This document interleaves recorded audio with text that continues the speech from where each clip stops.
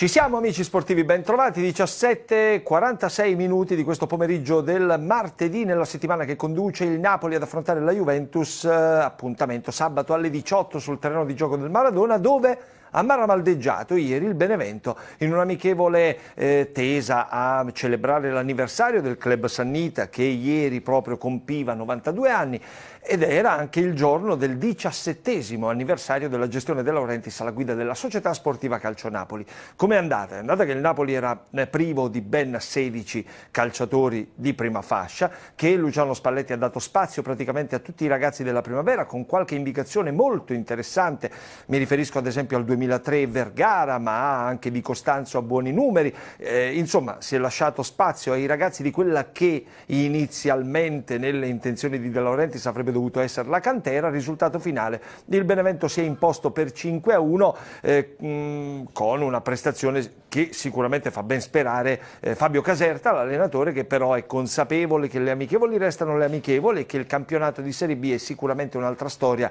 e, e che il prossimo banco di prova è già molto indicativo, casalingo con il Lecce.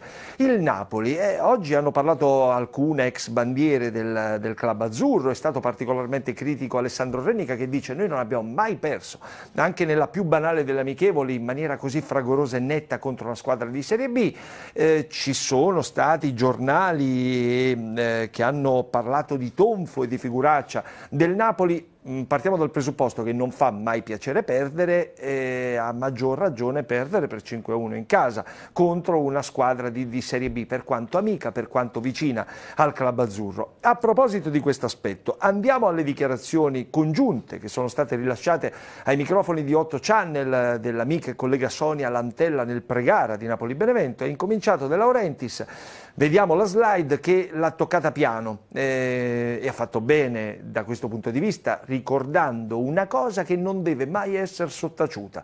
Lo scudetto mancato, lui dice scippato, della stagione 2017-2018. Rabbia De Laurentiis, sicuramente ne parleremo tantissimo perché i tifosi eh, dei quali abbiamo stimolato anche il dibattito e le considerazioni su questa slide, sulla pagina Facebook di Canale 8, si sono scatenati perché non lo ha fatto subito? Perché non ha urlato al mondo intero lo scandalo il giorno dopo quell'Inter-Juventus? Io direi avrebbe dovuto farlo anche prima, eh, perché quello fu un campionato che tutti ricordano. E quindi eh, insomma, sul tempismo De Laurentiis è stato beccato, il Presidente è stato beccato anche e ancora oggi sui social dai tifosi del Napoli. Magari eh, ripercorreremo un po' le tappe diverse anche prima perché tutto riparte, tutto va fatto partire dalla eh, finale di Supercoppa, quella indegna di Pechino, quando lì De Laurentiis a caldissimo richiamò la squadra impedendo alla squadra di Mazzarri di andare a ritirare il, la medaglia del secondo ehm, in quella partita veramente maledetta per come fu gestita dalla terna arbitrale guidata da Mazzoleni, però ne parliamo tra poco. Questo il passaggio di De Laurentiis. Gli ha fatto eco Oreste Vigorito, presidente del Benevento, che ha detto quello che vediamo nella slide successiva. Vediamo un po', certe volte perché anche il Benevento è stato protagonista di episodi tutt'altro che esaltanti nell'ultimo campionato di Serie A. Mi piace ricordare eh, un po' meno ai Sanniti, sicuramente Benevento Cagliari 1 a 2 con eh, le clamorose decisioni, anche in quel caso avallate dal VAR Mazzoleni. Certe volte, dice Oreste Vigorito, c'è chi non vince lo scudetto e altri che vanno in B per lo stesso motivo, perché scippati. Questa è una risposta alle tante domande dei tifosi del Napoli. Perché De Laurentiis non ha fatto la guerra subito il giorno dopo Inter-Juventus? Risponde Vigorito, dobbiamo continuare a restare in questo mondo, quindi accettare anche certe cose, piaccia o no. E poi ha chiuso, ha completato il suo intervento dicendo farei una sinergia con De Laurentiis e lo seguirei alla fine dice eh, dovessimo fonderci, il presidente sarebbe De Laurentiis e io lo seguirei come eh, si faceva, come facevano i cavalieri con Re Artù. Beh, parole, eh, parole, importanti alla luce di un rapporto che è sicuramente ehm, ottimale tra i due eh, presidenti. Intanto siamo in attesa dell'esito del ricorso avanzato dal Napoli in merito alla squalifica di due turni inflitta ad Osimen. La riunione è incominciata alle 16, quindi nel corso di Linea Calcio contiamo attraverso i nostri aggiornamenti di potervi eh, rendere conto anche dell'ultima parola, cioè il Napoli giocherà eh, sabato sera potendo contare su Osimè, non dovrà farne eh, a meno. E poi ancora, tornando sulle indicazioni positive di ieri, terzo cartello, vediamo un attimo, quello relativo alle parole di Gianluca Grava, che ieri ha assistito dal palco autorità alla partita tra Napoli e Benevento e non ha nascosto la sua emozione, ha detto Vergara ha le potenzialità per diventare importante, emozionato Gianluca Grava nel vedere all'opera lui, così come Di Costanzo, così come gli altri ragazzi che sono stati mandati nella mischia da Luciano Spalletti nel poco onorevole 5-1 finale, d'accordo, di un test amichevole, tuttavia questo va ricordato e vanno ricordate anche le 16 indisponibilità. Eh, denunciate di fatto ieri da Luciano Spalletti. A proposito invece di eh, Davido Spina, e poi apriamo le linee ai nostri tifosi incominciando con l'alternanza al telefono, ehm, tra, dovremmo avere a brevissimo la conferma dell'organizzazione del charter che dovrebbe riportare in Europa ben 12 giocatori, tra cui anche il portiere del Napoli. Secondo quanto ha riferito Sky Sport, l'aereo partirà subito dopo il match tra Colombia e Cile e arriverà a Parigi, quindi Ospina è atteso a Napoli venerdì eh, attorno alle 15 e questo per risolvere, per fugare qualsiasi dubbio, qualsiasi problema relativo alla difesa della porta. Intanto l'Italia questa sera tornerà in campo contro la Lituania e Roberto Mancini è stato chiaro, deluso per i due precedenti pareggi, leggi però si eh, le vinca le prossime tre l'Italia per aver certezza mm, eh, di partecipare al prossimo campionato mondiale in Qatar. Apriamo la serie dei collegamenti, andiamo al telefono. Pronto? Eh, pronto? Sì. Eh, buonasera, sono Enzo da Napoli. Ciao Enzo, benvenuto. Ciao Silver. Eh, no Silver, mh, mm, volevo tornare un po' sulla partita di ieri, anche se non eh, non, lo so che non fa testo, eh, però penso che uh, vorrei esprimere alcuni miei, miei pensieri. Sì. Riguardo al portiere, io penso che eh, Mastella non, non, può essere il terzo portiere del Napoli, per cui opterei per la, la, soluzione Mirante, se è possibile. Mm. Per quanto riguarda Zanoli, sì, un, un buon passo a sinistra non, non, lo vedo, in alcune chiusure non, non mi è piaciuto. E per quanto riguarda solo Onas, se, eh, se eh, si reprimesse un poco, eh, sarebbe un, un, gran, un, buon valore aggiunto. Cioè tu dici se, se, ri... giocate, se giocate riduce... individuali, molte, ah. giocate individuali, molte giocate individuali. Volevo sapere tu cosa ne pensi. Grazie Enzo perché sono tutti e tre temi molto interessanti che tu Ciao. Eh, proponi. Ciao, grazie. Grazie, buon proseguimento di serata. Proponi a me eh, chiedendo una valutazione, ma saranno molto più interessanti e importanti le valutazioni degli altri telespettatori che andranno a succedersi e a succederti al telefono. Marfella non è da Napoli, è il terzo portiere del Napoli, questo ragazzo. Secondo me, nella logica del terzo portiere può starci. Poi è chiaro che si è trovato i riflettori addosso con l'eventualità che eh, potesse essere addirittura impiegato in totale emergenza contro eh, la Juventus. Posso dirti per certo che il Napoli andrà avanti così, quindi con eh, Ospina che prenderà il posto di Meret, Marfella che rimane il terzo portiere, non si ritornerà eh, sul mercato. Però secondo me nella logica ecco, del, dell'alternanza, quella estrema, nella logica del terzo portiere, un ragazzo fatto crescere in casa e mandato a giocare in Serie C può anche starci affinché possa crescere ulteriormente nel bagaglio di, di esperienza vicino a giocatori eh, di livello internazionale come quelli che lo precedono nelle gerarchie, Ospina e Meretta. Per quanto riguarda Zanoli, ehm, allora io ti dico, Zanoli fisicamente è molto forte, ha un'ottima lettura delle fasi di gioco, Chiaramente nasce come terzino destro ed è quella la posizione che gli spetterebbe. Impiegato a sinistra magari qualche, ha, ha, ha, qualche difficoltà in più. Ieri il test, secondo me lui si è, se l'è cavata anche abbastanza bene. Piuttosto ho visto, ho qualche perplessità a proposito della condizione fisica di Juan Jesus perché mi pare che i chili persi da Lobotka li abbia presi Juan Jesus, che comunque nelle ultime due stagioni ha messo insieme soltanto nove presenze, quindi si può capire. E, ehm, e infine un as, un as è innamorato del pallone. E, ehm, chiaro che ieri, eh, ieri, il Napoli faceva proprio fatica a costruire gioco e eh, diciamo, l'individualismo di un as ha fatto anche bene ad un certo punto perché era l'unico che riusciva a portare qualche minaccia Poi è chiaro che è da vedere invece in un contesto eh, in cui ci sono tutti gli altri titolari. Lì secondo me anche una scambierebbe il suo atteggiamento e questo eh, feeling troppo spiccato con il pallone. Va, mettiamola così. Andiamo al telefono, pronto? Buonasera Silver. Buonasera a te caro amico, ciao. Sono Francesco da Salerno. Ah, ben arrivato Francesco, come stai? Bene caro. Allora, ti ascolto. Cioè, i presidenti Sì. a, a De Laurentiis e Vigorito o la dicono tutta o si stanno zitti. Ok?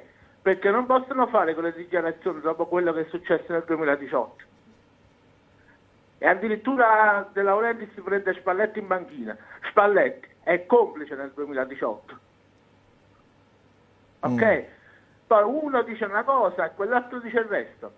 E Vigorito dice il resto. Cioè, allora, se i presidenti sono vittime di questa situazione, perché alla eh, che gli fa bene che la Juventus fa circolare soldi, giocatori, procuratori, eh, tutto, tutto quello che circola, allora si devono stare zitti. O ritirano le squadre dal campionato, oppure non parlano. Certo che... No, hai, hai ragione, hai pienamente ragione, nel senso che... Allora, proviamo a ragionare, perché il tifoso del Napoli cosa contesta a De Laurentiis? Di non aver fatto il matto il giorno dopo Inter-Juventus. Io, Francesco, ho ricordato che quando lo fece nell'immediatezza dello scandalo di Pechino, poi dopo cosa successe? Che le prese di santa ragione, le prese dall'opinione pubblica per quanto può valere, perché sappiamo anche come e in che parte eh, e in che eh, proporzione diciamo, è costituita, e eh, pre- le prese eh, dagli organi eh, disciplinari. Poi probabilmente ha capito che non gli sta bene, non gli stanno bene addosso i panni di Don Quixote. E e lui non è così, eh, però io ricordo anche eh, che mh, magari non il giorno dopo, ma qualche eh, settimana più tardi, proprio in ritiro a Di Maro, alla fine di quella stagione incredibile in cui si perse lo scudetto, perché solo in Italia si poteva perdere lo scudetto con 91 punti e con quella qualità di squadra, quasi in maniera rassegnata rispose ad una delle nostre domande nel teatro di Di Maro e che dobbiamo fare ragazzi? Lo sappiamo che ci hanno, ci hanno scippato lo scudetto, quindi non è vero che non lo ha mai detto, lo ha detto con Allora toni di rassegnazione. Con toni di Allora rassegnazione. subiscono. Allora subiscono in silenzio. Se le prendono così. Eh, tanto alla fine loro non ci mettono soldi, ci mettono caccia. Come è successo l'anno scorso. Perché poi il presidente poi non si deve sve- sve- svegliare la settimana prossima e dice Napoli-Verona, chissà cosa è successo. È perché Napoli-Verona è la stessa cosa. È la stessissima cosa. E lì è complice anche lui a questo punto. E i tifosi del Napoli ci rimettono. Mm. E non è giusto questo. Perché Io non ti dimenticare che sono tifosi dell'Inter e quel signor Spalletto sulla panchina non ci deve stare là. Perché poi, come dici tu, c'è stato Vigorito che ha rafforzato il concetto, perché anche il Benevento, purtroppo quest'anno in Serie A è stato fortemente penalizzato da alcune decisioni arbitrali. E il concetto del, eh, insomma, della, eh, che era stato già espresso da De Laurentiis è stato rimarcato e rafforzato da Vigorito. Però, dici tu, le cose le si dica con chiarezza estrema, perché il tifoso lo meriterebbe. Allora, tutto così. Noi purtroppo siamo come fanno i negozianti quando vengono tutti quanti vengono strozzinati, gli tolgono i soldi, tutti quanti pagano il pizzo e tutto il resto. Allora noi siamo in queste condizioni. Questo possiamo fare. Eh, purtroppo ci fanno, ci fanno campare così. Altro non c'è. Allora vi accontentate di questo, allora il tifoso capisce e va avanti. Ma non è che ogni volta ricominciamo da capo, i ritiri, i precampionati, il calciomercato, tutto il resto appresso. E soldi, investimenti, abbonamenti. Oh, è che veramente si mi fa scemoso. Mm.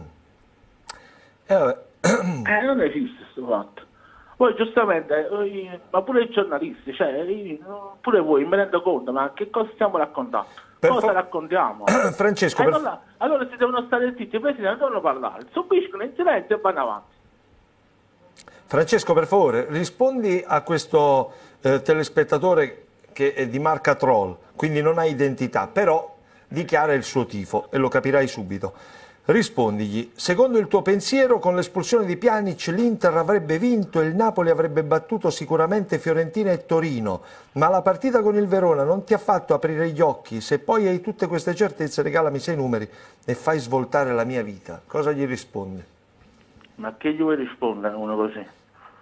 Cioè, ma secondo te, cioè quella partita là, quella partita del 2018, la Juventus era morta, era morta quella partita là, se la ricordi bene, se voi l'andate a rivedere, i Cardi la stava vincendo da solo, da solo. E i Cardi si devono mettere in testa i Juventini, farà l'ottavo attaccante, ma a Torino non ci andrà mai a giocare. A mai ci andrà a giocare, perché in Italia è stato cacciato via per colpa di quella partita. Diglielo a sto deficiente che scrive. Anzi, dopo gli vado a rispondere io. Vabbè. Vabbè. Francesco, un abbraccio, andiamo avanti, proviamoci. Grazie. Almeno, ciao, ciao. Alfredo Tizzano, domani sera, eh, sì, chiaramente Chiaramente, scusami eh, Alfredo, è domani che gioca l'Italia eh, contro la Lituania. Saluto Pietro Villano. Pietro Svaldo Campani invece scrive: Non faccio parte di quelle decine di milioni di pseudo allenatori tecnici, opinionisti, sportivi, ma da sportivo noto che la Procura federale non si attiene allo spirito della legge dello Stato in cui opera. La legge è uguale per tutti, ma ad una giustizia suddita del colore delle maglie. E devo dirti allora si tratta di giustizia domestica e, ehm, e, sono logiche che caratterizzano un po' le procure federali di tutte le varie discipline sportive, te lo assicuro perché anche io ci sto passando, nel senso che attendo una sentenza che dovrebbe arrivare il 21 di settembre che riguarda il tennis mh, perché da tesserato nel caso mio, ma anche da giornalista, quindi io direi prima da giornalista, poi da tesserato di una federazione, eh, avevo semplicemente fatto eh, il mio lavoro denunciando vicende dolose, acclarate, acclarate legate all'attività tennistica. Però protagonisti, insomma, con protagonisti eh, personaggi forti all'interno ecco, di questa federazione. Quindi da, da, lì il contenzioso e il braccio di ferro che potrebbe alla fine vedermi anche penalizzato. Quindi pensa un po'. Eh, Massimo Moccia, ehm, contro la Juventus c'è poco da fare, per questo Napoli-Verona puzza di bruciato o di ricatto. Francesco ha ragione, per Massimo e poi eh, Rossella e Pasquale Maresca, amichevoli inutili e dannose in questi periodi, con il campionato appena iniziato, almeno per le nazionali e per un valido motivo e sappiamo i danni che hanno provocato. E ancora Ernesto, la partita di ieri non fa testo, ma ci vorrebbe Mirante, secondo me Marfella non dovrebbe fare il terzo portiere. Andiamo al telefono, pronto? Ciao Silver, buonasera. Caro Aurelio, come stai? Ciao. Eh, bene, tu tutto bene? Bene, bene. Senti, vorrei rispondere a quel uh, tifoso della Juve che ha scritto il messaggio, sì. ma lui è tanto sicuro che, sette, eh, che senza le sette rifandezze che furono fatte dagli arbitri in, in quel campionato, la Juventus ha, dopo la partita di Torino che il Napoli vinse 1-0 con gol di Koulibaly sarebbe arrivata a ridosso del Napoli? Lui è tanto sicuro? Ci dia quattro numeri, così gli facciamo quattro risate. Sei, sei un grande Aurelio, sei un grande, apprezzo la tua, la tua ironia, la tua simpatica arguzia con la quale hai risposto all'amico. Tu ad esempio hai un nome, lui no. Eh, ce le facciamo tutte, tu, tu, ma tutti quanti quattro risate ce le facciamo. Eh, e se vuole gli elenco le sette nefandezze, dove sono state fatte, con chi sono state fatte, con quali arbitri sono state fatte. Eh, le ricordo bene. È chiaro? Quindi se, se, lo mettesse bene interno lui e tutti gli Juventini come lui. Poi eh, passando alla partita di ieri, Silvia, che io sono indignato, mi sono indignato. Perché? Io Perché? Sul, io sul 3 a 1 ho spento il televisore, non ho voluto vedere quello scempio, perché si è visto subito, si è visto subito che non avevano voglia di giocare, non volevano giocare quella partita, si è visto subito. Io se fossi in, De Laurentiis, tranne i ragazzi della primavera che ha fatto entrare. Ed erano praticamente quasi tutti i ragazzi della primavera poi, eh? Beh, eh, eh E allora, ti, ti dico, quelli ti dico, della prima squadra... Aurelio, allora, ti dico quelli... per, aspetta, scusa, ti dico allora, per, per l'informazione, per informazione, giusta informazione, che ieri mattina lo stesso gruppo aveva fatto allenamento, quindi l'idea ecco, di una partita amichevole, eh, sì. non lo so, si può ragionare anche sull'idea di un amichevole così. Eh, no, ma io, io, quelli che sono scesi in campo ieri, eh, ieri sera, e mi riferisco a quelli della prima squadra, non certo ai ragazzi della primavera che non hanno nessuna colpa. Io, io se fossi in De Laurentiis, gli darei dieci giorni di ritiro forzato e non, fa- e non li farei giocare sabato sera. Tutti, tutti, tutti quanti. Perché non è possibile offrire quello spettacolo. È mm. stato un obbrobrio per i tifosi del Napoli quella partita. Eh, Scusa lo sfogo perché no, no, no. poi diciamo a tutto, a tutto, c'è un limite perché non, cioè, non si fa così. Dovete giocare questa partita, giocatela. Eh, eh, non è che, Gerardo, Gerardo Donnarumma Gerardo Donnarumma ti scrive, scrive, era meglio fare una bella mangiata, vergognoso. Eh, Ma... Appunto, una bella tavolata, così, eh, con, un, eh, con i fiaschi di vino. Massimo, Massimo, Moccia invece a proposito del, della querel, del, delle parole che sono state ripetute da De Laurentiis ieri sera dice De Laurentiis non si è lamentato e i tifosi dove erano? Avete visto qualche protesta? Ci rassegniamo tutti contro un calcio marcio, devo dire. Ma fa... che dobbiamo fare? No, ma, che cosa ma... puoi fare? Cosa puoi fare? Allora, allora, eh... ma, allora sì. eh, Silver, allora, contro il potere e come fai a combattere? Perché è un potere totale, non è un potere che tu dici hanno solo una forza, no, ce l'hanno per, perlomeno dieci forze, hanno i soldi, le multinazionali, hanno il potere mediatico, hanno il potere sugli arbitri, hanno, hanno tutto. Ma come si fa a combattere? Sarebbe una battaglia persa. Come? Come? De Laurentiis l'ha persa la battaglia quando ha voluto affrontare frontalmente questo problema. Eh, e ha fatto bene ieri a rimarcarlo, così si sa, affinché diciamo, si sappia. È meglio che o meglio, affinché cose... non si dimentichi. Eh. Come? No, affinché non si dimentichi. Affinché non si dimentichi. Ah, appunto, affinché non si dimenticano certe cose. È chiaro? Eh. Va Vabbè, bene. Aurelio, ti ringrazio e ti saluto. Sì. Ti ringrazio, ciao, buonasera. Ciao caro amico, ciao. Pietrangelo eh, Chierchia mi scrive, eh, presidente del Napoli Club Udine Silver, purtroppo ha avuto una voce da un amico eh, juventino che il ricorso, quindi un'indiscrezione, che il ricorso per la sanzione, per la squalifica di due turni a Osimen sarebbe stato già respinto, spero di no.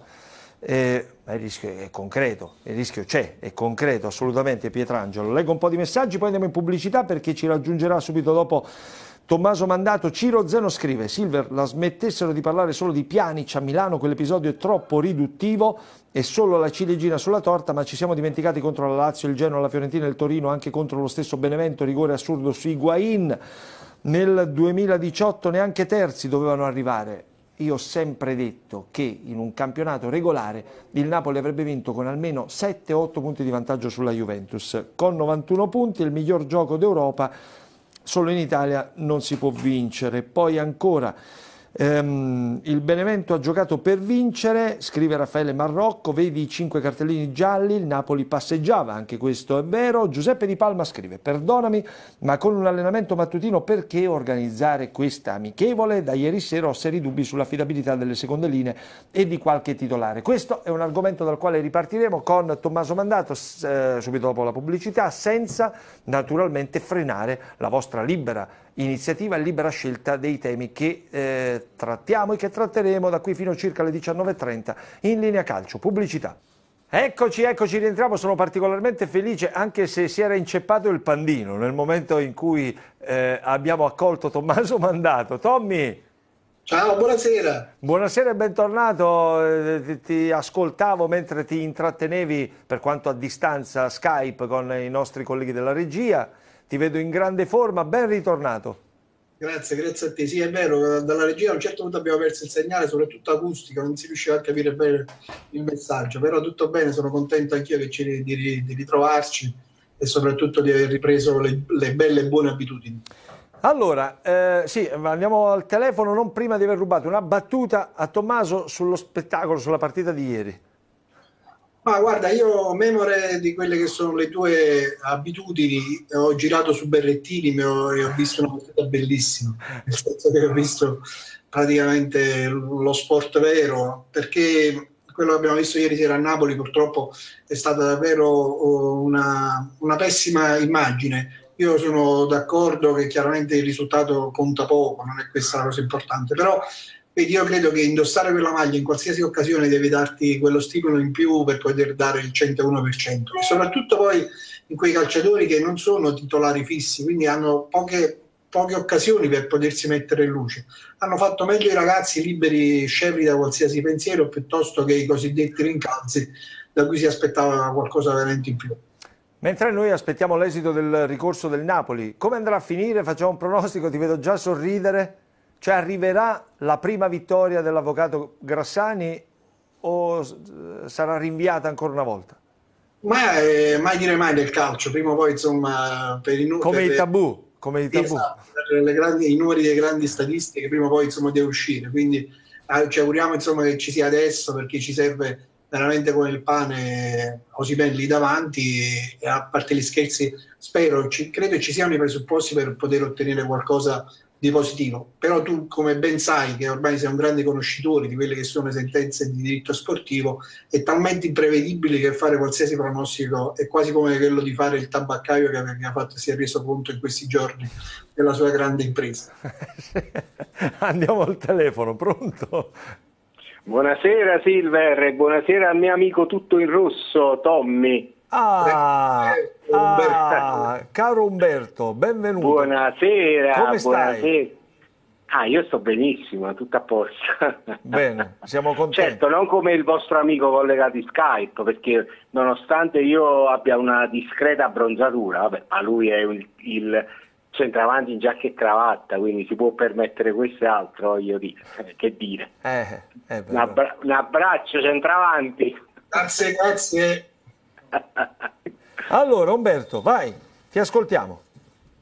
Quante decine di minuti ho per eh, commentare le No, guarda, ho, ho, sentito solo dalla regia. Uh. no, allora, eh, rapidissimo. Vai, vai, vai. Eh, allora, ehm, le seconde linee del Napoli, penso che lo sappiamo tutti, eh, per usare un eufemismo, sono a chiave, cioè non no. servono. No, eh, scusate, eh, certe parole, questo, questo, però è, sta nel dizionario, eh, voglio sì, dire, io, parlo, sì. io parlo con le parole che sono nel dizionario. Allora, il Napoli, Silver, il Napoli può contare su 15 calciatori, punto.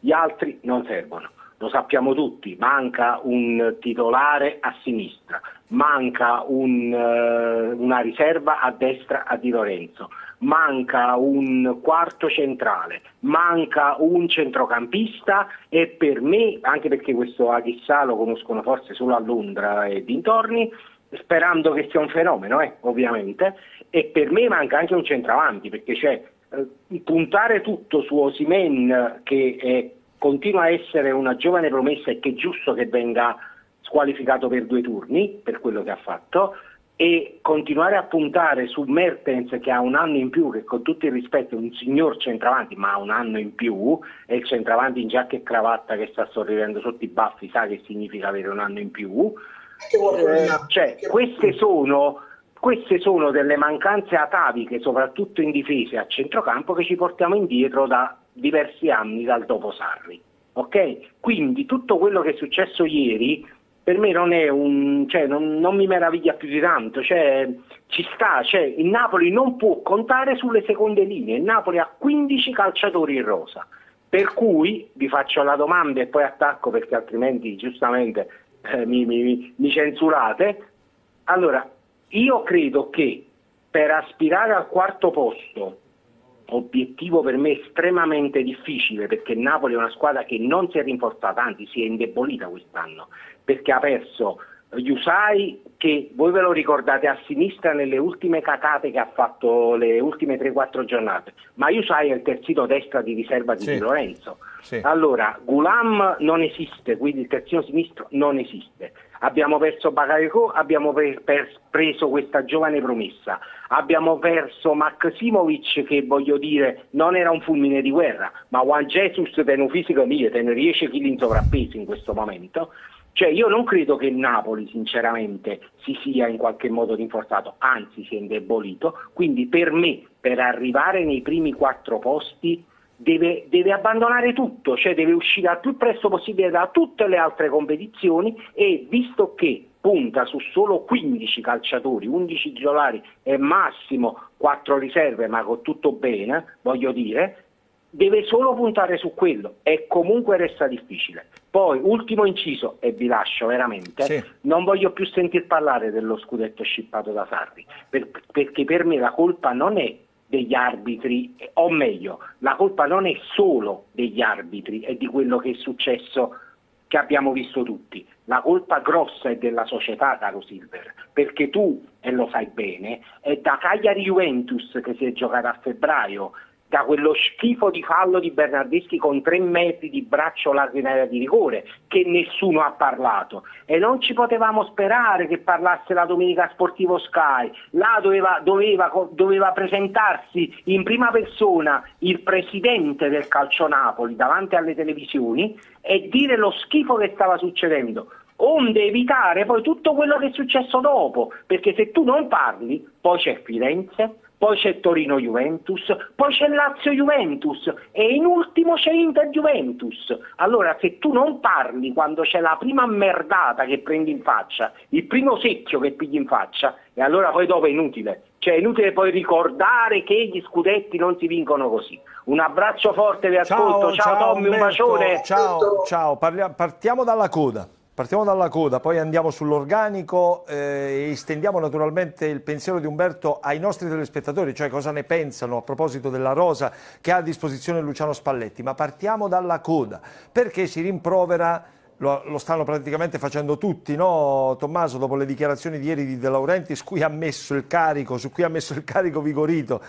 cui ancora brucia tantissimo Benevento Cagliari della scorsa Serie A, sì, ma la guerra la doveva fare subito. Io mi sono permesso di ricordare che quando ha provato a fare il Don Quixote lo hanno rispedito al mittente eh, con un paio di calci nel sedere e qualche sanzione disciplinare dopo Pechino.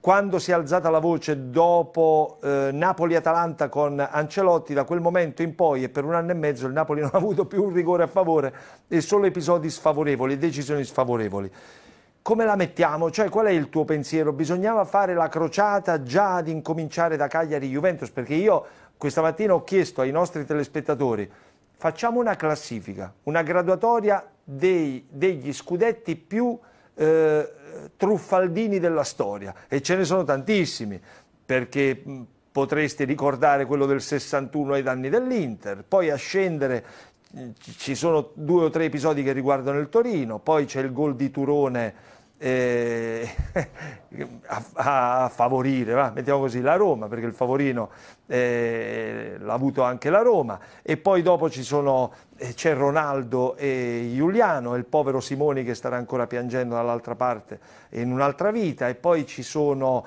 eh, tutti gli altri episodi, va, c'è il gol di Montari fino ad arrivare ai giorni nostri.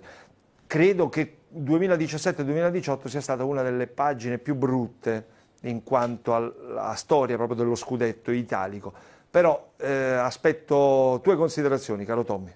Ma io credo che, eh, e ne parlo adesso, nel senso che quelle che sono in dato di fatti, eh, non credo che la, la politica del silenzio eh, abbia giocato in qualche modo a Napoli e allo stesso De Laurentiis, almeno ufficialmente. Se poi ci sono stati dei riscontri eh, in maniera eh, oscura che noi non sappiamo, allora alzo le mani ma sono due anni che non andiamo in Champions, quindi questo grande favoritismo a seguito del silenzio di allora credo che non abbia portato alcun frutto.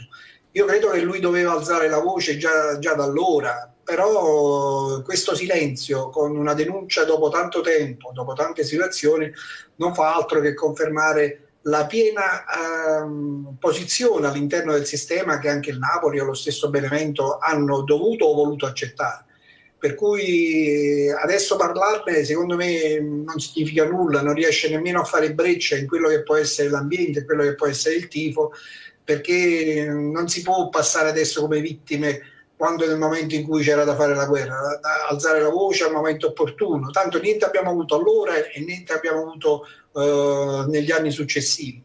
Quindi credo che chiaramente il malumore della gente, del tifoso, cresca e sia anche giustificato perché... Sì. Eh, anche il senso di distacco, no? Assolutamente sì, non fa altro che acuire e nello stesso tempo confermare quello che è un distanziamento che ormai è sempre più netto fra la società e la città. Sai cosa, eh, Tommy, a parte De Laurentiis, ma mi fate rivedere un attimo la slide con il virgolettato di Vigorito. Nel, nel momento in cui Tommy eh, Vigorito dice che uno che non le manda mai a dire, certo.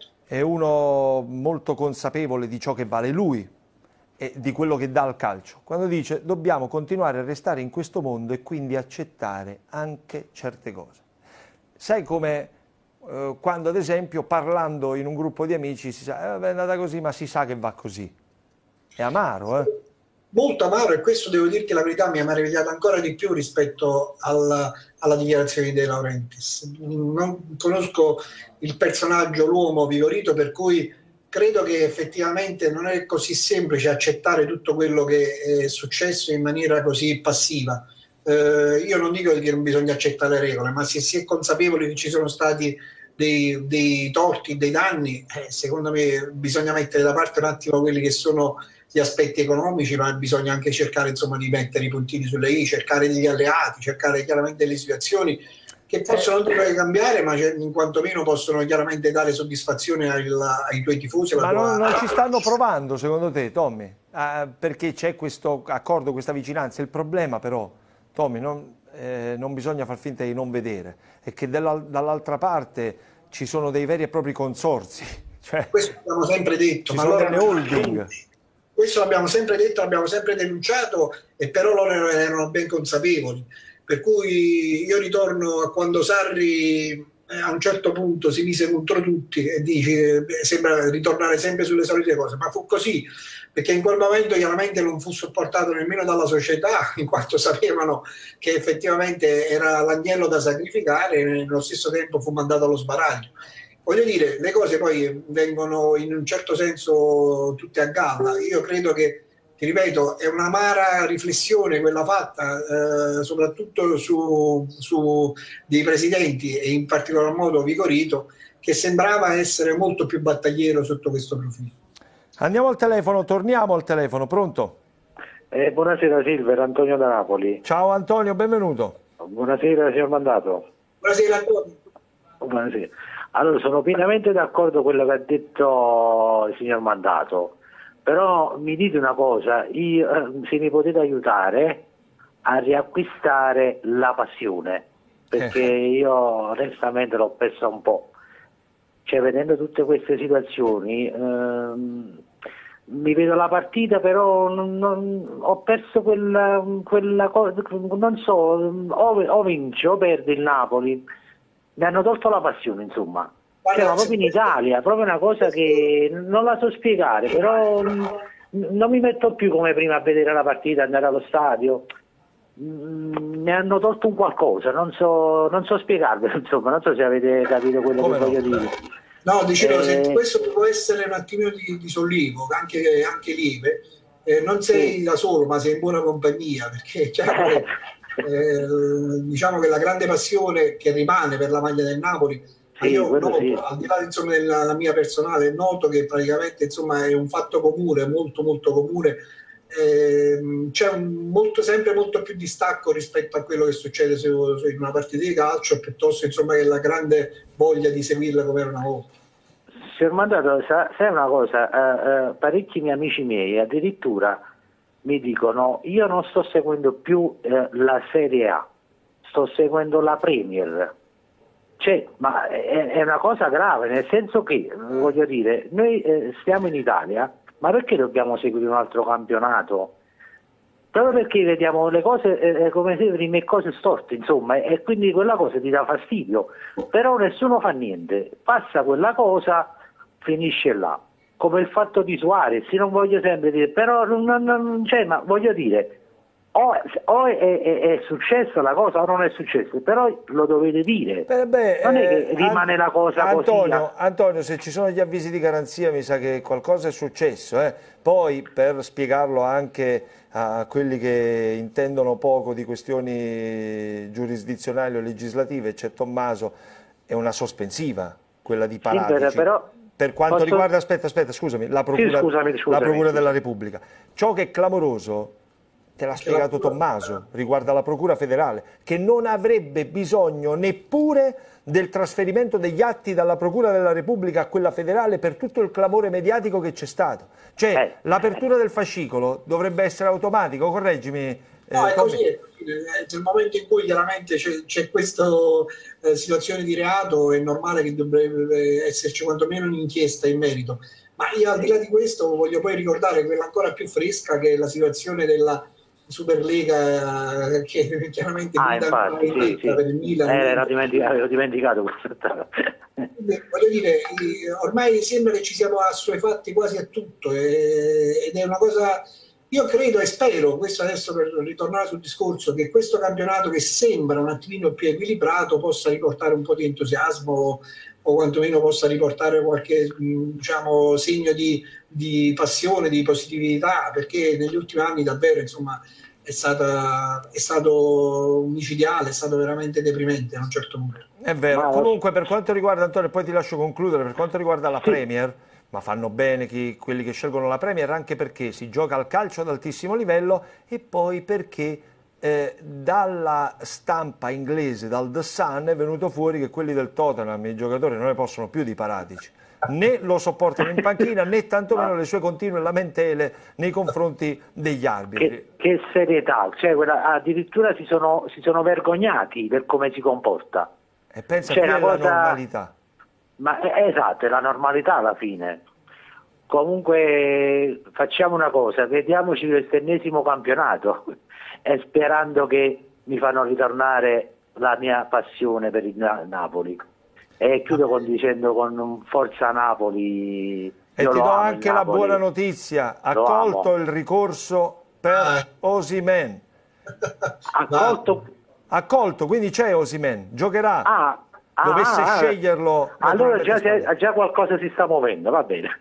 Eh, speriamo. speriamo. Speriamo, grazie Antonio, un abbraccio. Come sempre gentilissimo e buona serata a tutti. Questa è la notizia dunque che diamo in eh, tempo reale nel nostro linea calcio, accolto e quindi dimezzata la squalifica Victor Osimen che ci sarà contro la Juventus eh, a disposizione di Spalletti. Poi da titolare dovesse eh, ritenerlo opportuno Spalletti, ma credo proprio di sì, contro la Juve. Allora, Tommy?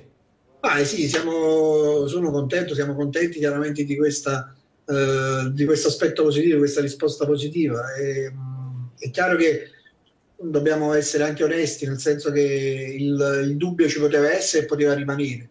Però ripeto, con la giustizia sportiva è chiaro che non è mai facile fare delle, delle previsioni.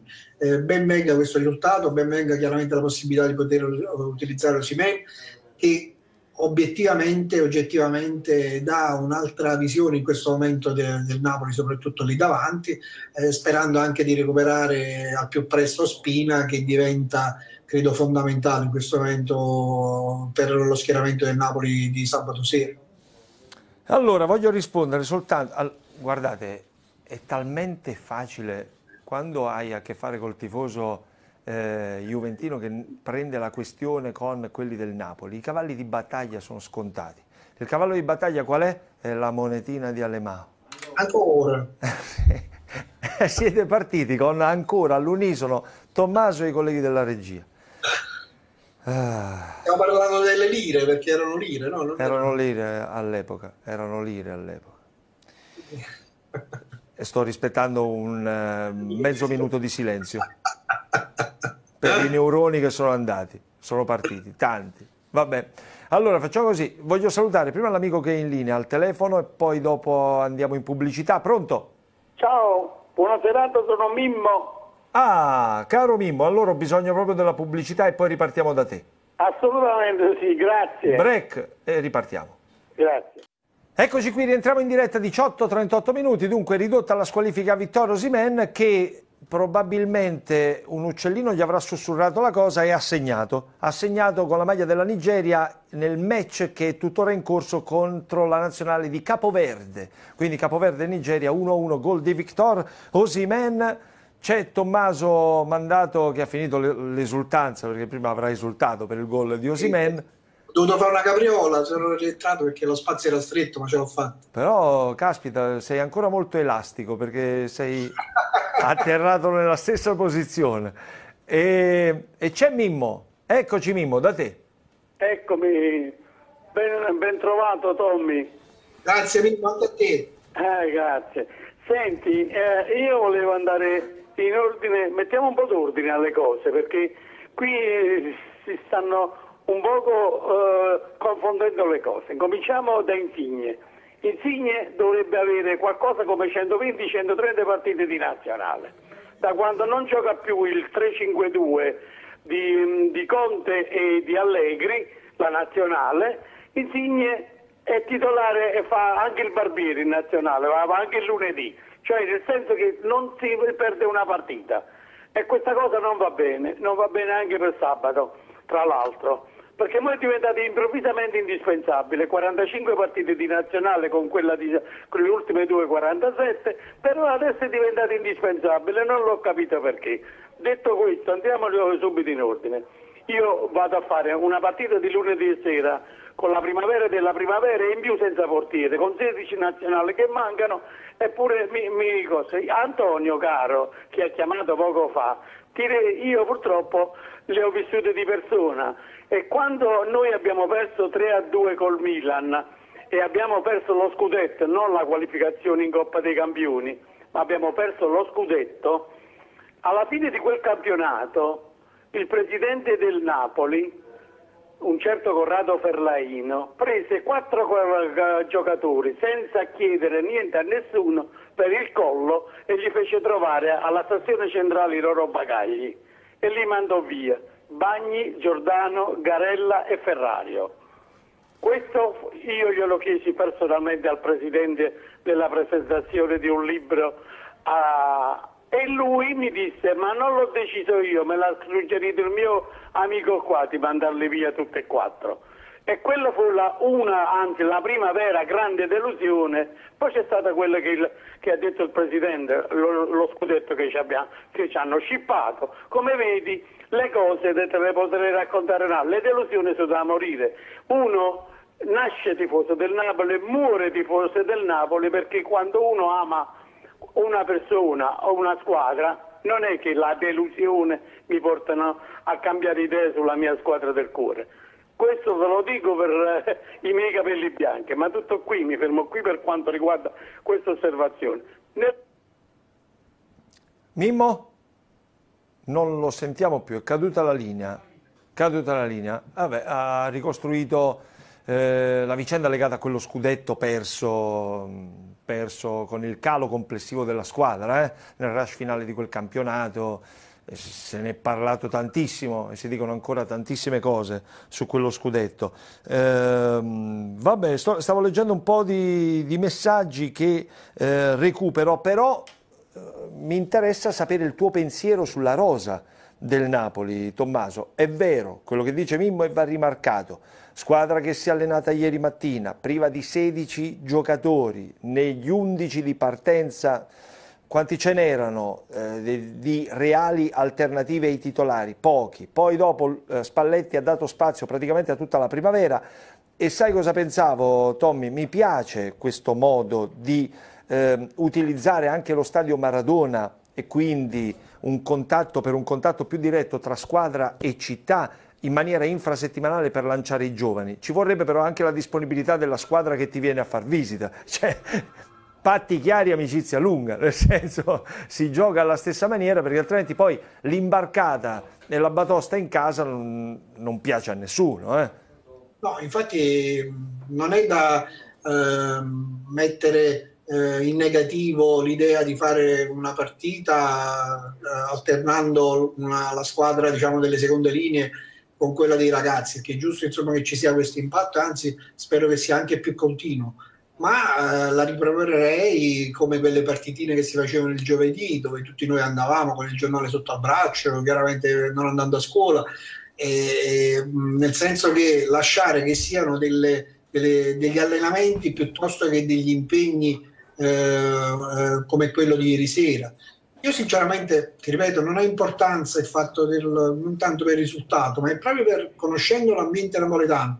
Non ho capito l'importanza di dover fare una partita del genere eh, anche in televisione, sotto un, una certa osservazione, in diretta Sky, insomma tante e tante altre cose. Poteva avere una dimensione un attimino più ridotta e una situazione del genere ti, ti passa anche in una maniera più liscia detto e chiuso questa parentesi perché chiaramente non è un argomento secondo me importante, ma è molto più importante quello che succederà sabato sera.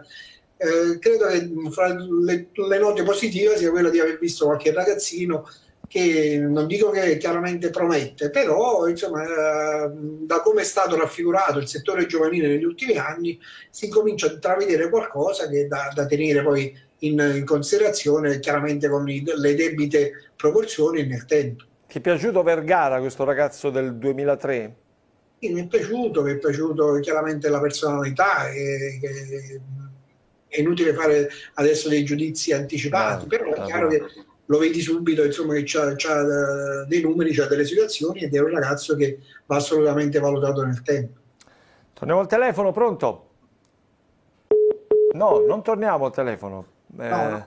Eh no, è caduta, è caduta, la linea. Comunque la notizia importante è quella che è arrivata e che vi abbiamo dato. Ha colto il ricorso del Napoli verso la squalifica di Victor Osimen, dunque Spalletti può tirare un sospiro di sollievo. Ehm, segna... che dato in contemporanea secondo me è ancora più importante, cioè, capito? Lo, lo ritrovi carico perché fa gol anche in nazionale. È vero, eh? È, fondamentale in questo momento ritornare proprio al mille per mille, sperando che chiaramente il ragazzo si, sia, si, dia, non dico un freno, ma un contegno a quella che è la sua grande esuberanza, che è un fatto naturale, che chiaramente deve imparare a disciplinare e a regolamentare. Esatto, a disciplinarsi, perché poi eh, ecco quella voglia di fare, quella voglia di dare tutto, ho, ho ascoltato Spalletti dire di Osimen cosa vuoi dire? Cosa vuoi aggiungere? Niente perché parla la maglia per lui, che è sempre una maglia eh, sudatissima, lui ci mette il cuore, ci mette l'anima, però avrà capito, io me lo auguro, come vanno determinate cose No, questo sì, io mi auguro insomma, che chiaramente si lavori molto sul, sul carattere di questo ragazzo perché poi eh, l'abbiamo visto in quei 20 minuti diciamo, iniziali, ha, ha, fatto pressione praticamente da solo su tutto il reparto offensivo. Sì, certo, il test era quello del, dei giocatori del Venezia, però voglio dire, la sua grande speranza, la sua grande voglia di voler fare eh, deve essere preso come un aspetto positivo piuttosto che quelli che possono essere poi i lati negativi che vanno assolutamente limati. Corta la rosa del Napoli, come diceva Umberto? Ma eh, se dobbiamo guardare le tre competizioni, eh, noi abbiamo sempre lo stesso dubbio. Uh, chiaramente credo che al di fuori degli 11-12 che, insomma, che sono quelli che possono giocare tranquillamente, ci sono forse due o tre elementi. Ieri mi ha fatto molto sorridere nello stesso tempo tremare la possibilità di vedere Mario Rui a centrocampo, tanto per dirti una. Insomma, chiaramente eh, non hai nemmeno dei giocatori talmente duttili da poterli utilizzare eh, in più ruoli. Lo stesso Jesus eh, in questo momento non, non, si può ipotizzare che possa fare tutta la fascia perché ha delle grandi difficoltà. Ma guarda, eh, no, tutta la fascia secondo me è utopia.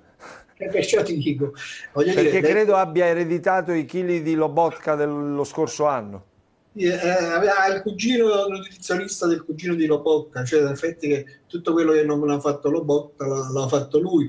E quindi perché dico questo? Perché eh, è stato additato come un'eventuale eh, alternativa a Mario Rui finché eh, Lulam non si riprende, ma credo che in questo momento, per esempio, su quella fascia sia improponibile perché non ha proprio la possibilità atletica di poterlo fare. Quindi riduci ancora di più quelle che sono le possibilità della rosa. È tutto da vedere, vediamo un attimo come si sviluppa il proseguo della stagione. Andiamo al telefono, pronto? Sì, buonasera. Ciao carissimo. Eh, Sal Salvatore. Ciao eh, Salvatore, eh, benvenuto. Buona, buonasera a te Silver e um, uh, l'altro diciamo, amico in, in, in collegamento. Benissimo, eh, io mh, volevo solo intervenire per, sulle dichiarazioni di eh, Vigorito. Mh, capiamo e conosciamo Vigorito, l'abbiamo conosciuto eh, diciamo, lo conosciamo dalle sue dichiarazioni, dal, diciamo, dal, dal fatto che insomma, è sempre coerente nelle sue diciamo, espressioni, eccetera, eccetera. Però io credo che, credo che sia anche una, una frase e una, diciamo, una, dichiarazione di circostanza, tenuto conto che comunque eh, Vigorito è presente diciamo, in Serie A e non è quel presidente che resterà dieci anni e quindi è possibile che diciamo, riscenderà di nuovo dalla Serie A e quindi chiede in un certo senso un aiuto a, eh, a De Laurentiis eh, quasi, come, diciamo, quasi per prendere punti, no? per, però alla fine sa in cuor suo che la guerra che potrebbe innescare o comunque la, la, le contestazioni che potrebbe fare sono delle contestazioni praticamente che hanno una corta gittata, nel senso che magari ci vorrebbero 5, 6, 7 squadre di calcio che stanno in Serie A da 15-20 anni e allora mettendosi insieme potrebbero cambiare le regole, cosa che invece Vigorito sa che non lo può fare e il nostro eh, amato Presidente, quando le ha tentate di fare, si è reso conto che essendo solo non può assolutamente interferire, intervenire in certi equilibri e questa diciamo, è una condizione che eh, diciamo, sul vigorito eccetera. Un altro fatto di cui non si parla eh, è il mondo dei giochi, al di là diciamo, della storia del tabaccai, ma il mondo dei giochi che gira intorno a, agli sport e non ultimo al calcio, mm. che secondo me, al di là dei sette fatti eclatanti che hanno condizionato determinati risultati, ma eh, quando un fatto eclatante condiziona un risultato, di fatto modifica anche quello che è il gioco, la giocata e il risultato. Quindi c'è un mondo dei giochi gestito praticamente dai monopoli, in questo caso, che risente di queste decisioni e non innesca la cosa strana, non innesca nella giustizia ordinaria un procedimento finalizzato praticamente ad accertare se quel risultato è stato condizionato o meno. Non sì. avviene come giustizia sportiva, figuriamoci eh, diciamo come giustizia ordinaria, non interessa praticamente a nessuno. Però questa è una condizione che trasciniamo ormai da, da decenni, sebbene diciamo, in quest'ultimo periodo eh, più telecamere ci sono, più eh, diciamo, è facile eh, accorgersi. E, eh. e, questa è la situazione. Però eh, nel frattempo noi, al di là del risultato che condiziona l'assegnazione del titolo o la permanenza nella, nella, massima serie, o addirittura se scendiamo ancora più sotto ce ne saranno chissà quante altre in Serie C o in Serie B, però comunque questo è un fatto che non si parla. Cioè condizionare eh, un risultato è fine soltanto a quella a quella, a quella gara, cioè a quella, alla gara e a tutte quelle, quelle altre società che da quella gara potevano praticamente beneficiare in un risultato diverso sì, da quello che diventa, diventa una, reazione, una reazione, a catena. Salvatore, grazie per aver chiamato, ne parliamo. Niente. Interessantissimi due spunti. Sul primo eh, vorrei chiuderla lì, poi magari Tommaso, se non è d'accordo, può intervenire conoscendo un po' i personaggi, tutti e due, conoscendo molto bene Oreste Vigorito, non credo ci sia un retropensiero, una strategia nella maniera in cui e nel momento in cui ieri lui si sia trovato a ricordare ancora una volta il, eh, no, il dispetto, però eh, la, la, decisione sfavorevole, le decisioni arbitrali sfavorevoli che hanno sicuramente condizionato la stagione del Benevento dico anche che il Benevento ci ha messo molto del suo lo scorso anno per retrocedere, eh? dopo il girone d'andata che aveva fatto bene, però dinanzi a, ad arbitraggi scellerati anche il Benevento è stato penalizzato, non credo che ci sia strategia, retropensiero o la voglia di pensare a coalizioni più o meno forti per poter pro, eh, provare a cambiare il, il calcio. Si sa bene che è cosa molto difficile, che impresa ardua laddove dominano determinati e spiccati poteri. Detto questo, eh, sul tema delle scommesse, ragazzi, non ne parla nessuno, ma De Laurentiis sì. De Laurentiis spesso e volentieri ha fatto riferimento eh, a vicende molto oscure eh, e che muovono milioni, centinaia e centinaia e centinaia di milioni, miliardi di, di euro no? legati al mondo delle, delle, scommesse, per ultimo nella conferenza romana. Quindi non è mistero, no Tommy? Che... No, non è un mistero, ma è un campo minato, molto eh. pericoloso, perché devi stare anche attento poi a centellinare le parole. Lui è abituato ad andare a ruota libera ed è chiaro che diventa pericoloso nel momento in cui vuoi dire, vuoi far capire, vuoi far trapelare qualcosa. E, eh, gli interessi sono talmente alti, i protagonisti sono talmente eh, tanti ed è chiaro che se tu non hai delle prove, non hai sicuramente delle situazioni con cui puoi argomentare in maniera molto concreta, devi stare molto attento anche alle parole che usi. Che ci sia questo grande pericolo c'è sempre stato da quando c'era il calcio, il cosiddetto calcio scommesse clandestino e anche da quando poi è stata legalizzata la possibilità di poter giocare. E, però sembra insomma che i controlli siano diventati un attimino più efficaci e, e quindi voglio dire eh, il pericolo c'è, ma in un certo senso oggi insomma, ci sono anche delle punizioni molto più severe rispetto ai famosi processi eh, che insomma, si svilupparono tanti anni fa e quindi insomma, non c'è da scherzare soprattutto da persone che guadagnano tanti e tanti soldi. Apriamo la nostra finestra sulla redazione, c'è Tony Iavarone in collegamento con noi. Direttore, ci sei? Buonasera. Buonasera Tommy. Ciao Tony, che piacere di vederti. Piacere mio. Allora, Tommy, eh, Tony, scusami, all'unisono arriva la notizia del ricorso accolto del Napoli e Osimenna segna con la maglia della Nigeria. Bene. Eh beh, eh, insomma, dopo la partita di ieri è, è la buona notizia.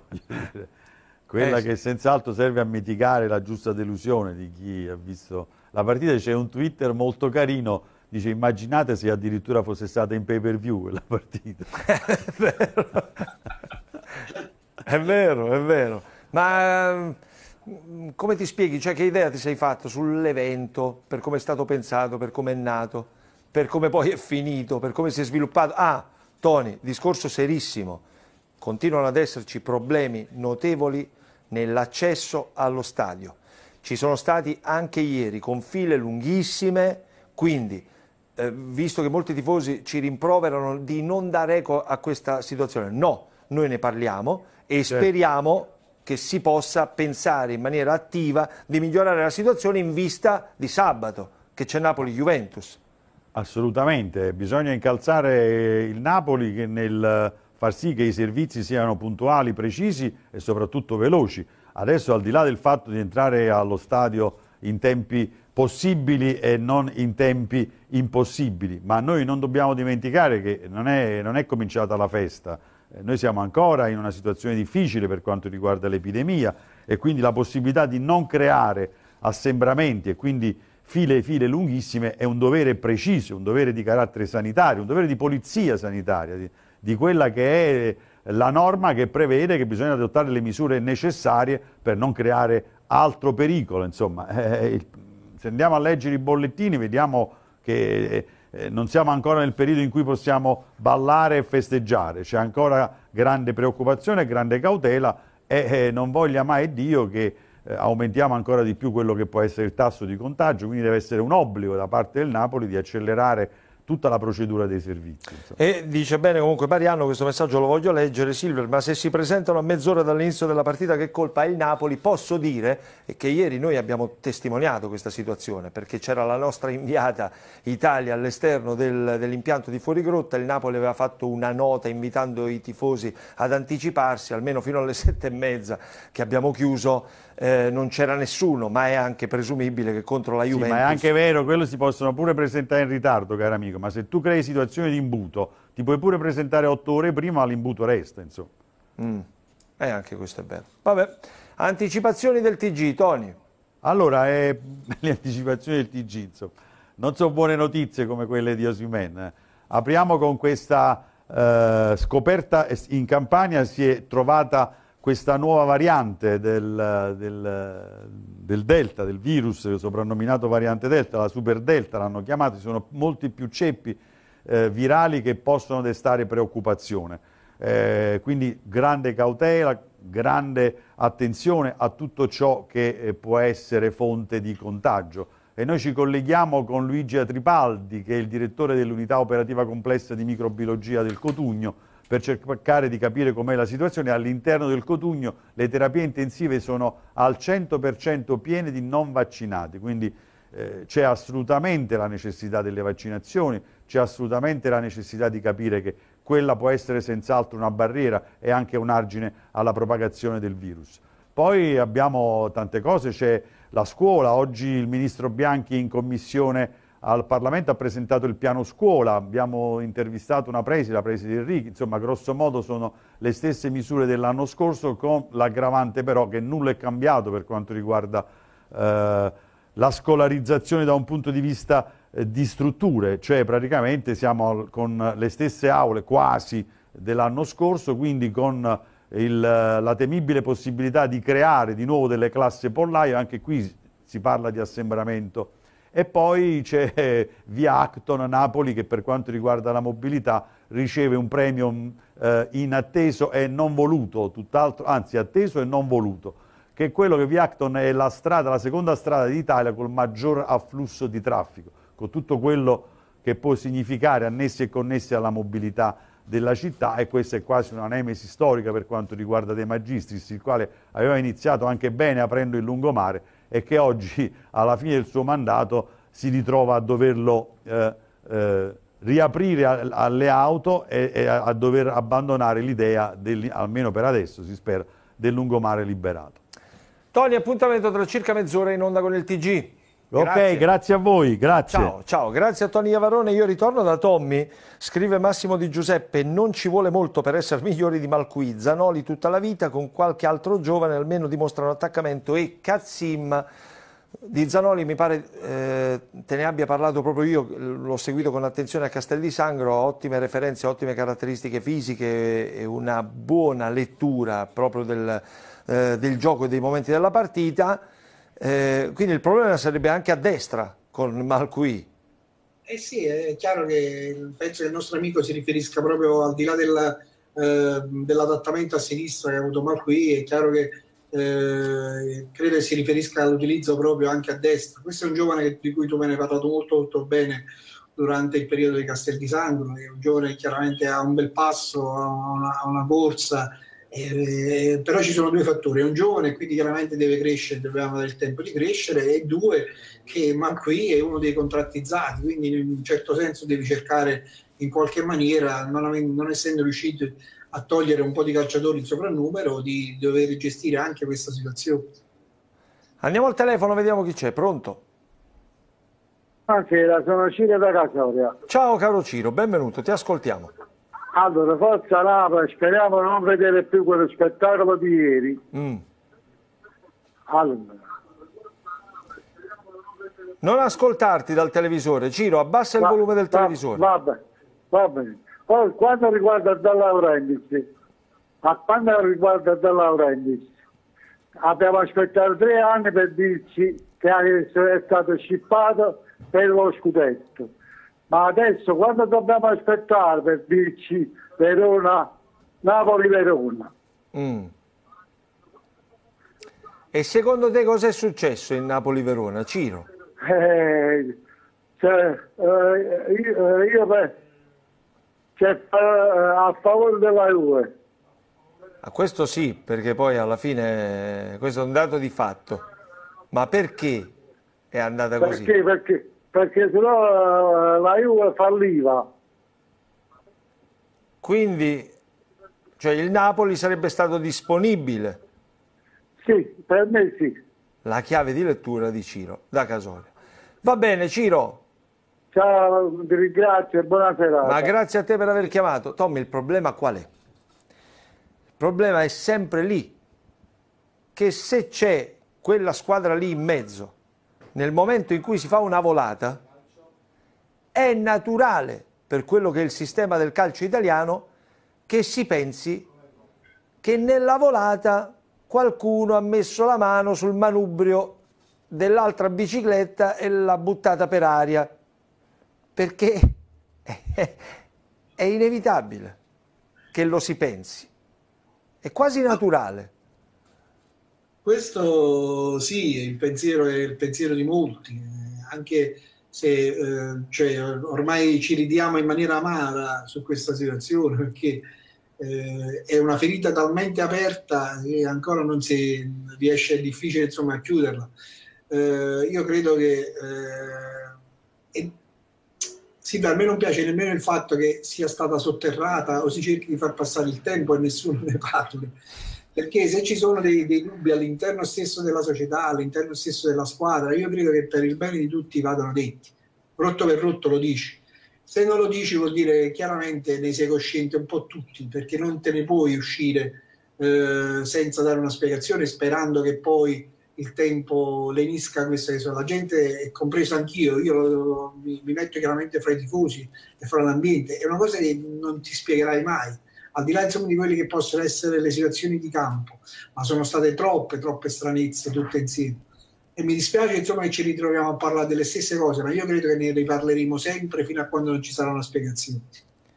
E Antonio Cosi mi ha risolto la situazione perché scrive Napoli-Verona, organizziamo un'amichevole come quella di ieri così sentiamo che ne pensa. Vabbè, voglio leggere, devo recuperare un messaggio prima di salutarti Tony, Tommy. Diego Quintavalle scrive, buonasera, ma di che ci lamentiamo di cose già viste e dette inutilmente? Lo scudetto perso doveva avere giustizia in quell'anno, inutile parlare dopo per sfogo, comunque bisogna guardare sempre avanti, oggi il Napoli non è male, è una squadra che può lottare per la Champions League e non parliamo più di scudetti, qui a Napoli poteva portarlo soltanto Diego. Sempre Forza Napoli, un abbraccio a tutti e ehm, dal Rione Gescal un saluto particolare a mio figlio Brian che ha appena 40 giorni ma che ha seguito come le due partite iniziali ha portato fortuna. Non avevo dubbi, non avevamo dubbi. E vabbè, e Zelino Stefano Nigro aggiunge, se non cambiano i tifosi che sono come i limoni da spremere, il mondo del calcio che ha toccato il fondo per tutto quanto succede di poco pulito non cambierà mai. E conclude Francesco Ferrero, Ferraro, nel 2006 abbiamo perso una grande occasione. È vero, è vero, è vero. Ma che dire, eh, che il piccolo Brian sabato sera non prenda impegni con nessuno che sia davanti alla televisione per la terza partita consecutiva. Questo è lavoro che ci facciamo tutti noi, anche se avrà 45 giorni, ma eh, diamogli una poppata davanti alla TV. E, e, poi, ti ripeto, è chiaro che il discorso va fatto eh, in maniera molto molto eh, tranquilla sotto questo profilo. È inutile esasperare adesso gli animi o ritornare su, su discorsi già fatti. Auguriamoci insomma che il Napoli sabato sera sia in grado di affrontare la Juve, la Juve con la giusta determinazione con un ulteriore sfizio che non vuol dire forse nulla per quanto riguarda il discorso matematico, ma metterli a otto punti è una, è una piccola soddisfazione che ci dobbiamo prendere. Tommy, un abbraccio forte, grazie.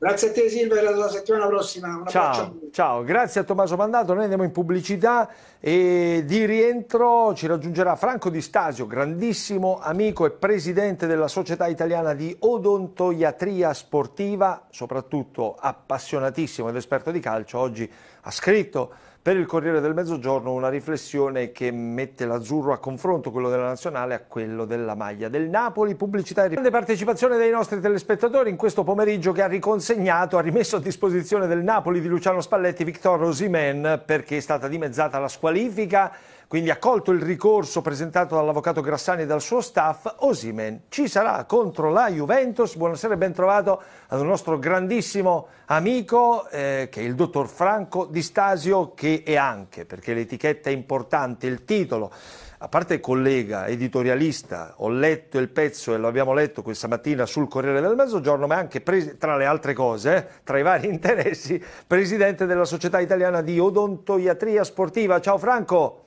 Ciao Silver, buonasera a tutti i telespettatori di Canale 8, grazie per l'invito. Ma grazie, il tuo sorriso è sempre ben augurante, così come la tua presenza Franco, nel, nell'editoriale di questa mattina eh, facevi riferimento, mettevi a confronto praticamente l'azzurro della nazionale italiana e il nazionale reduce dal pareggio con rammarico sul campo della Svizzera, poi Tony Iavarone mi faceva eh, notare un dato che è interessante, vorrà pur dire qualcosa, nelle ultime sei partite ufficiali dell'Italia, quindi comprese quelle della bellissima avventura europea, nei tempi regolamentari l'Italia ha vinto una sola volta, eh, quindi è un dato che ti offre le caratteristiche della nazionale di Mancini e poi l'azzurro del Napoli con questo allenatore che definisci bravissimo e anche molto spigoloso come Spalletti e un gruppo mh, sostanzialmente valido che, che, ne abbia detto l'amichevole di cui ti, ti, ti chiedo conto di ieri sera con il Benevento. Allora, Silver, allora gli argomenti sono, sono tantissimi. Comincio dalla nazionale. La nazionale di Roberto Mancini, che io conosco ed è una persona che stimo tantissimo, è una nazionale indubbiamente forte, una, una nazionale vincente ed anche simpatica. però non è in assoluto la più forte nazionale europea probabilmente. Tu sai benissimo, perché come me pratichi e ami lo sport, che per vincere c'è bisogno di una serie di, di, di fattori, una serie di quasi di eh, fattori positivi che si incrociano, perché la nazionale ovviamente non ha dimostrato il, lo strapotere assoluto, è una nazionale che vince quando ha la possibilità di mostrare tutte le sue potenzialità, quindi devono stare bene, si devono divertire, devono stare in forma, tutta una serie di caratteristiche. La mia considerazione è che durante il campionato tutte le nazionali italiane rendano meno rispetto al dopo il campionato italiano, perché il campionato italiano, è inutile negarlo, ruba energie nervose. Noi stiamo facendo degli studi come presidente della società e come universitario, stiamo facendo degli studi per quanto riguarda l'assorbimento, le energie nervose, quante energie assorbono. Eh. Ovviamente sono energie che van, vanno sottratte al, al gioco, perché comunque è un costo energetico. La mia impressione è che durante il campionato, specialmente con partite importantissime come quella di sabato Napoli-Juventus, la mia impressione è che la nazionale giochi meno serena e si vedono meno sguardi tranquilli, meno sorrisi e più tensione. Quindi questo è quello che io vedo per quanto riguarda la nazionale, una squadra che adoro, che ha vinto benissimo, ma che ha la necessità per vincere di essere al massimo io parlavo di equilibrio stechiometrico fra tutte le parti in causa. Il Napoli ieri sera l'amichevole, vabbè io tu già sai come la penso, per me le amichevoli è solamente un modo per definire una partita dove non ci si gioca qualcosa, ma per me nessuna partita è amichevole, per cui io anche se scapoli ammogliati, per quel poco che ho giocato anche in tornei, mi sono sempre impegnato al massimo, fortunatamente faccio un altro lavoro, per cui, perché veramente per me la partita di ieri è stata, è stata deprimente, perché ho visto un grande Benevento, io sono molto amico di Fabio Caserte, tra l'altro è una persona che stimo tantissimo e so che lui vive di calcio, così come stimo moltissimo Spalletti, ma in campo ho visto calciatori annoiati e questo sinceramente te lo dico, proprio tu sai quanto amo e amiamo il Napoli, non mi fa piacere. Io vorrei vedere Grinta anche nella, part- nella partitella del giovedì. Sì, perché è giusto, no, no, è così, sono d'accordo con te, perché poi la maglia è la cosa che va oltre... Eh tutto, l'appuntamento serale, per quanto venga dopo un allenamento del mattino, ma significa poco, perché poi... Anche c'è spettatori, eh. c'è spettatori, c'è i bambini. Io credo molto della, della, funzione che il calcio ha come esempio. Noi siamo una società martellata da, da visioni non, non, positive, per cui il calcio deve assumere, lo sport in generale, tu, tu, segui il tennis e segui altri sport, lo sport ha una funzione veramente educativa, non è vero quello che si diceva, no, no non bisogna caricare di, di significati lo sport, lo sport è educazione, lo sport è rispetto dell'avversario, rispetto dell'avversario è anche l'impegno, quindi eh. io ieri ho visto una partita da un certo punto di vista ho visto un grande Benevento e sono veramente contento perché Fabio è, è uno che come noi pensa al calcio, non dorme la notte, è fantastico, però ho visto anche uno Spalletti addolorato perché anche lui è uno come, come Caserta, è uno che, che, vive il calcio e certamente non gli fa piacere perdere 5 a 1 poi. Poi eh. per carità non ha nessun significato, per carità, però da un punto di vista, certo mi ha dato fastidio sinceramente. Poi invece per quanto riguarda gli azzurri della mia città e del, del mio Napoli, è ottimista perché noi abbiamo il più grande allenatore italiano, secondo me. Uno che è ritornato a parlare di calcio, che quando parla di calcio parla di tattica, di tecnica ed è veramente un piacere ascoltarlo ed imparare. Finalmente si sono separate le due cose, l'aspetto finanziario fondamentale per portare avanti una società, ma del quale non me ne frega nulla, e l'aspetto invece del campo, dei 90 minuti, che sono quelli che per i quali sono appassionato, per i quali vado allo stadio, per i quali scrivo e, e, ho indirizzato anche la mia vita professionale su questo. Ti chiedo una cosa Franco, poi andiamo al telefono perché c'è sicuramente un telespettatore in linea, in attesa, ma Spalletti, grande uomo, io sono d'accordo con te, eh, grande eh, uomo di campo, fine comunicatore con i calciatori, con i ragazzi, per quello che gli ho visto fare nel doppio ritiro prima in Trentino, poi a Castel di Sangro. E non è facile, non era scontato facile, Franco, arrivare qui e prendere un gruppo che aveva lisciato in quel modo infausto la qualificazione in Champions League. Eh? Cioè devi ricominciare sostanzialmente da zero. Ma secondo te Spalletti è contento e soddisfatto della rosa che gli è stata consegnata, che poi a fine mercato gli è stata messa a disposizione?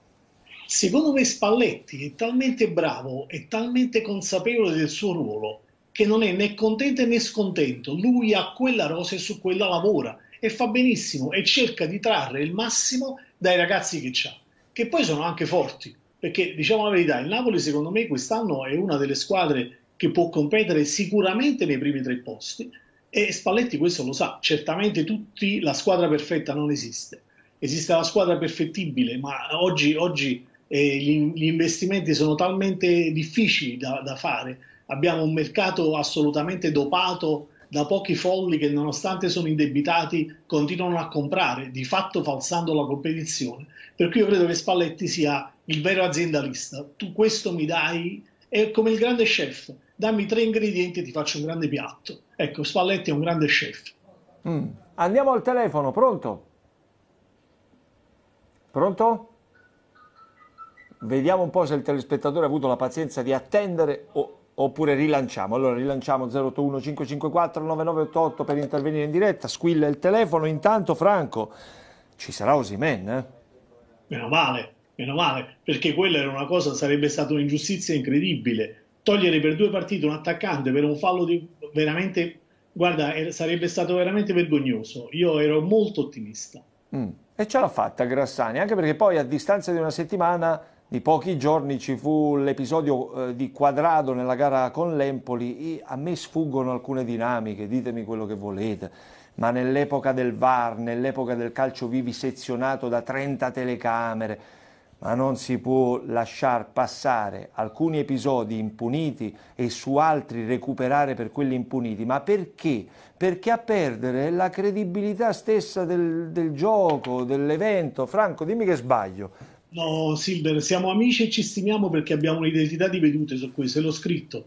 Eh, hanno inquinato questi, questi dubbi, queste, queste, cose veramente inconcepibili, hanno inquinato il mondo del calcio, perché poi naturalmente a pensare male è, è facile è, ed è anche normale, perché con tante telecamere vedi degli episodi che sono veramente incredibili, eppure, eppure li continui a vedere. Io pensavo, ti dico la verità, e l'ho scritto, che il post-Covid sarebbe stata una moralizzazione, ci sarebbe stata un'etica diversa. Io vedo gli stessi tuffi, mi dispiace dirlo, ma insomma, ringraziando Dio, posso, mi posso permettere di dirlo, io vedo le stesse cose che ho visto negli anni passati e questo non mi fa piacere.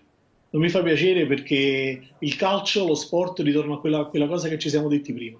Devono, devono, attrarre gente, non devono attrarre dubbi. Questa eh, è la cosa. È così. Al telefono, pronto? Ciao Silver. Ciao Felice. E un saluto al dottor Franco. Siete Saluto, stati grazie. come sempre qualcosa di meraviglioso. Grazie. Avete centrato in pieno il problema. Il VAR, ti ricordi due o tre anni fa, a dicembre, Pocecato lo chiamo io, ex Juventino che adesso all'Inter volevano toglierlo. Perché? Perché purtroppo si pensava che non potevano fare più i truffaldini, invece continuano. E questo è vergognoso, perché non si rendono conto che quando uno gioca deve essere pulito, lindo e pinto. Questi sono sporchi. Prima hai detto alcuni tifosi tutto ciò che è capitato. Ma io ti faccio un esempio banalissimo. Il signor Bonucci andò a Milano, è tornato alla Juve perché là lo cacciavano fuori e lo ammonivano. Che dimostra questo, Silver? Io dico, Presidente, al nostro Simen, mettici la maglia bianconera. No, Vedrai ma che ci sono sabato due no. rigori. sabato Due no. anni fa, ti ricordi? A fine campionato, tre rigori in Napoli. E poi due che non servivano, ti ricordi? Sì, sì. Vergogna, ci stanno facendo... Io no, perché il Napoli ho nel cuore, nella mente e altrove. Nell'anima. Non lo abbandonerò mai. Io amo Napoli e il Napoli. Noi del sud dobbiamo smetterla di, di fare i, piagnistei. Perché quelli in Coppa, tu lo sai, 31 anni a Torino, Sì. non ci fanno avere. Noi dobbiamo essere uniti. Invece no, abbiamo in casa un morto. Eh? Sti Juventini, Campani, Pugliesi, Siciliani, Calabresi, tifate per il nostro calcio. sud, sud, sud. Va bene. vi voglio bene Felice, sempre. Un abbraccio Sempre Napoli forte. azzurra. Eh, Grazie, un abbraccio forte. se- hai fatto il tuo appello no? Ad unifica- all'unificazione eh, sotto la bandiera azzurra. Tu vorresti questo. Io invece da Franco vado per sottoporre eh, il- quello che ha detto De Laurentiis, quello che hanno detto ieri sera a Braccetto, perché un'intervista a Braccetto De Laurentiis e Vigorito a proposito del sistema. Di, eh, De Laurentiis è stato condannato dalla stragrande maggioranza dei tifosi che dice, Franco, ma è chiaro che nel 2018 abbiamo visto tutti cosa è successo quell'anno lì, che il Napoli di Sarri o lo si fermava in un determinato modo, con determinate maniere, o andava a vincere lo scudetto. Perché il presidente non ha fatto fuoco e fiamme già all'indomani di Inter-Juventus e viene fuori a distanza di tre anni parlando di Scippo? Eh, eh, oggettivamente, secondo me, bisogna anche capirlo, perché se fai parte di un sistema, tu devi cercare anche di tutelare il sistema. Il, il sistema a volte subisce dei meccanismi di autoprotezione. Eh, tutti sanno che c'è qualcosa che non va e molto spesso dall'interno c'è difficoltà ad ammettere questa cosa perché è comunque una missione di, non dico di collusione, ma comunque una missione di accettazione di cose che non vanno. Per cui lo fai a distanza di tempo, quando gli animi si sono calmati. Ma io ricordo quello che è successo, per molti di noi quello è uno scudetto nostro, poi si può discutere. Poi ci sono, sono successe delle cose stranissime, lo scudetto perso in albergo, detto da Sarri, che si presta a mille interpretazioni. Quella è una pagina buia, però io sono abituato a, a guardare avanti nel calcio, perché dopo tre anni che tu ritorni, eh, i ricordi non sono più reali sono falsati da quello che è la nostra passione e anche dai dubbi indotti. Io la penso peggio di quello che la pensavo nel 2018 perché nel frattempo c'è stato il 2019 e il 2020. Quindi la visione è peggiorata e quindi non sono più affidabile. E quindi magari il presidente la stessa cosa e parla di scippo perché la vede col senno di poi, perché nel frattempo sono successe altre cose che oggettivamente legittimano i sospetti, anzi proprio li, li, li di controfirma. Eh, so- sono andati oltre, episodi sono andati oltre, poi ci si mettono anche quei buontemponi delle Iene, poi ci si mettono anche quei pochi giornalisti d'inchiesta che sono rimasti no? a farci Eh. vedere un po' di cose. Eh, Quando il dubbio diventa certezza, a distanza anche di tre anni, poi ti, ti cazzi, cioè cominci a dire, oh, ma che, ma che è? Eh. E, e quindi abbiamo avuto la materializzazione degli incubi peggiori in questi anni dopo il 2018-2019 e quindi è giustificato che si parli dopo tanto tempo. Io avrei fatto un casino incredibile anche prima, ma io non faccio testo perché sarei già stato squalificato mille volte, quindi sarei... Senti Franco, ma sabato alle 18 cosa fa? Vabbè, sicuramente uscirai, andrai in giro. Guarda, io eh, sabato, tu sai che io lavoro sempre, il sabato lavoro moltissimo, sabato ho una consulenza in costiera sorrentina Ah, e vado in moto, anche se dicono che il tempo non è un granché, perché io alle 6 ho un impegno importante, ho un aperitivo, ecco. ah, è un aperitivo, è chiaro. Poi, vabbè, ti do io la Sono notizia. No, ti do io la notizia perché sicuramente eh, ti è sfuggita. Sabato alle 18, proprio a quell'ora lì, c'è Napoli-Juventus. Avendo un po' visto questo, questo inizio ehm, difficile di campionato della Juventus di cui non mi fiderò mai, mai, mai, ehm, e invece il Napoli che ha fatto un play nelle prime due partite senza strabiliare, che match prevedi sabato? La solita partita delle partite, dove i provinciali come me eh, le danno un valore certamente superiore a quel valore che è. Per me battere la Juve è un mezzo scudetto, io lo confesso, poi sono- posso essere tacciato di, di provincialismo e lo sono, perché per la partita con la Juve assume un significato diverso. Quindi mi aspetto in campo, veramente, io purtroppo sarò a prendere questo aperitivo, non lo seguirò neanche per radio, ma mi aspetto mi aspetto veramente insomma una guerra eh, in campo, guerra sportiva parlo, eh. Certo, Per- certo. e per me lo sport è competizione. E, e ritorna Allegri Spalletti, eh? Eh, ritorno Allegri Spalletti e credo proprio che Spalletti abbia voglia di, di dimostrare tutto quello che c'è dentro, perché uno che veramente mi ha stupito. Io lo conoscevo, poi un nostro amico comune, che posso anche citare, che è Francesco Montervino, me ne ha parlato talmente bene, tu sai che Ciccio ed io siamo come, come due fratelli, me ne ha parlato talmente bene ma già prima che venisse a Napoli. Cioè, lui ha sempre sostenuto che questo è un uomo di calcio vero, è un grande tecnico, è uno che sa come parlare nello spogliatoio e, e conosce, conosce il calcio. E ti dico che da quando è arrivato a Napoli, devo dire che Ciccio, che eh, normalmente di calcio ne capisce moltissimo, ha avuto ragione. Mi dispiace ammetterlo perché eh. sai che vorrei contrastarlo, però ha avuto ragione.